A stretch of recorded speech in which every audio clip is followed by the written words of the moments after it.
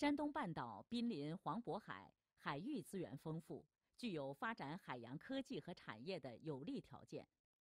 十二号上午，习近平来到位于青岛蓝谷的青岛海洋科学与技术试点国家实验室。习近平走进实验室大楼，结合展板、电子屏、实物模型和样品标本展示，听取实验室在开发利用海洋资源能源、服务海洋经济发展、保护海洋生态环境以及构建综合立体海洋观测网络等方面的情况介绍。了解深远海科考船队共享平台建设和科考船工作情况。在超算仿真大厅，习近平认真查看高性能科学计算和系统仿真平台运行情况，并向科研人员详细询问构建超级计算机互联网、研发人工智能和大数据系统深蓝大脑、打造国家一流海洋系统模拟器的最新进展。得知超级计算机解决了海洋数据碎片化问题，大大提高了海洋观测和预测能力，总书记十分高兴。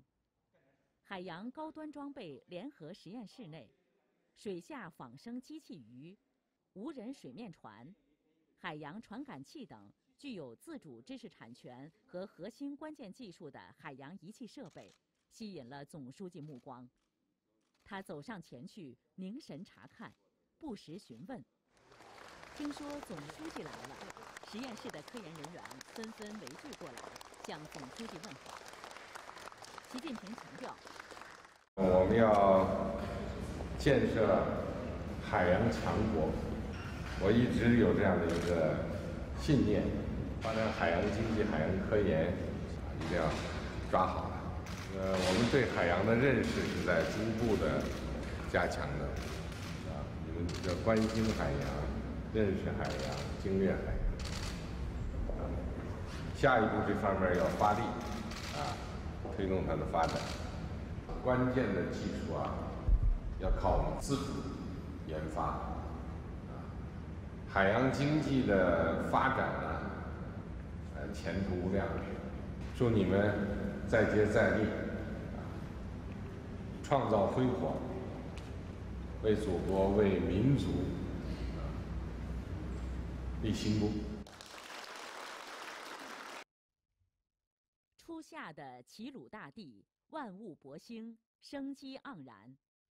六月十二号至十四号，习近平在出席上海合作组织青岛峰会后，在山东省委书记刘家义、省长龚正陪同下，先后来到青岛、威海、烟台、济南等地。深入科研院所、社区、党性教育基地、企业、农村，考察党的十九大精神贯彻落实和经济社会发展情况。